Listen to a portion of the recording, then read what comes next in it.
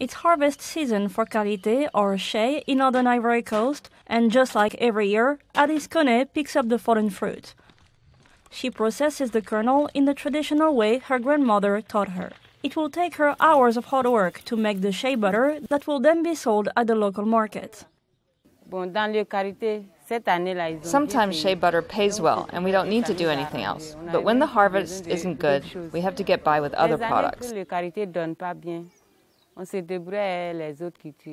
Like Kone, most women in the shea industry in Ivory Coast work independently and sell locally. But shea butter is in high demand internationally for use in cosmetics or as a substitute for cocoa butter in chocolate. Neighboring Burkina Faso and Ghana are among the world's leading exporters. Burkina Faso earns an estimated $33 million annually exporting shea. Ivory Coast is trying to catch up. In this village, women have teamed up in a shea co op. When you work in a group, there are lots of ideas, and also financial backers can come help us. We have received some assistance, funding capital. They built us a warehouse. If you work alone, people can't help you. They can't build a warehouse for every woman.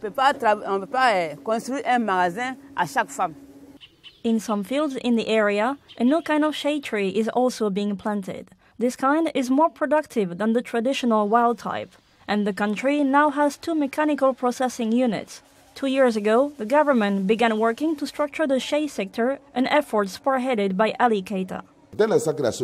As soon as we have a strong cooperative structure, we will have clients in China, Europe, and the United States.